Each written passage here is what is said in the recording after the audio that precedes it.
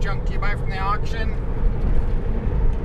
Um, all of it. Oh yeah, got some fun in there. The biggest problem with online auctions is the size of stuff isn't in perspective.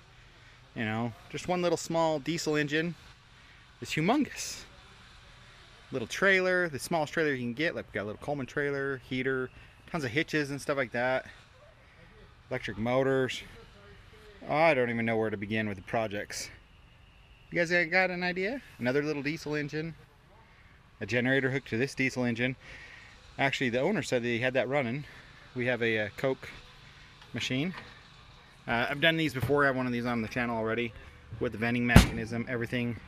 Uh, lift cart, a Wisconsin. No, that's a Fairbanks Morse. I don't know. Looks like a Wisconsin to me. Engine, gas powered compressor, furniture dolly. Oh my gosh. Another generator uh, coupled to a military engine welder generator right there. Just a basic lawn edger.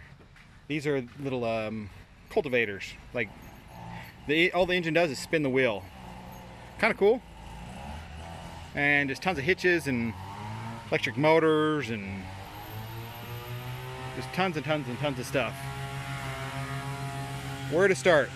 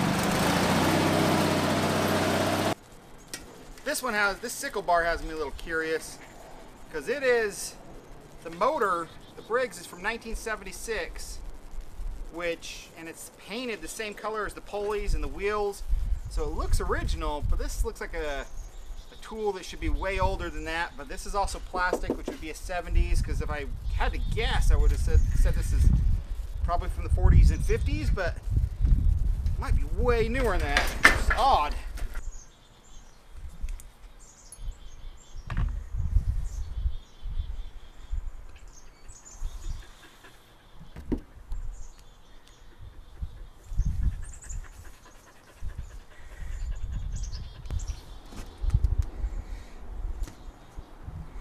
See these a little bit better. Just these one-wheeled cultivator things, just pull an implement. Trailer. A green Lister diesel. Oh, two green Lister diesels. They look like a little bit different model, maybe not. No? Look the same. One just has a huge generator head. The guy said he had that one running. Um, and then coat cabinet with the coin mechanism, everything, which is actually kind of rare. I've bought these before and they haven't had any of this in there. They're just kind of gutted. That's what they look like. This one's just missing an engine and a pulley. This one, both pulleys are broken off. Um, I have no idea what's wrong with that. What else did we get out? Coke machine sitting there. These weigh nothing. Those weigh like 100, 150 pounds. Dolly, no big deal. So I started pumping on this lift table and pumped right up, which is actually impressive. Now, uh, but now it doesn't want to go down. But that's not even all the way up. This isn't one of those Harbor Freight things. And a uh, gas-powered air compressor. I think dirt, dirt cheap. Who knows? Probably junk. But we'll see. I took a gamble and bought a Freon R22. Feels like there might be just a little bit in there. It's an old tank. Maybe a pound or two, maybe three, maybe. It's hard to tell. If you know that stuff, it's worth a, a fortune. And everything in here, in the trailer, I mean hitches and jacks and pintle hitches and four jacks and I mean casters and these are the things that tie down straps on semis and more bottle jacks. I think there's clamps, C-clamps, vice grips somewhere in there. A bunch of wheels, hose. I think all that's like 20 bucks. There's everything in here. So there's value there. You just gotta sort through a pile of junk to get it. And this motor right here, I thought it was an electric motor, but uh, for some reason I hook 12 volts up to it. But look at that for a second. I'm not sure what that is. So this tire apparently is flat and off the bead. These will probably be replaced, but for now I want to roll it around. It's called bead seal. It's like black rubber cement kind of thing. It's all rusty. This will just seal it up so it doesn't just leak out and go flat in a day.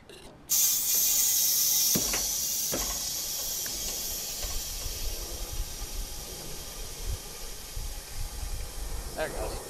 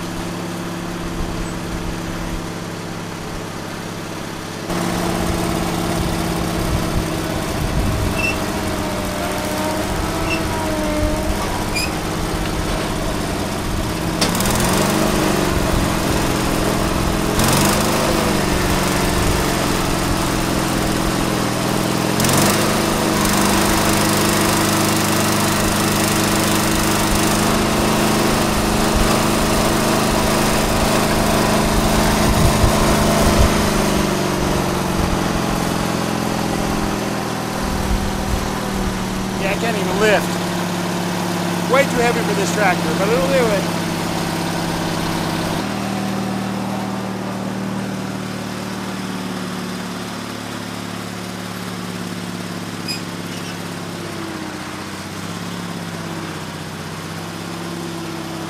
Pressure wash this little lift table, makes a world of difference. Change the oil for the hydraulics, and it works beautifully. Uh, about four feet tall.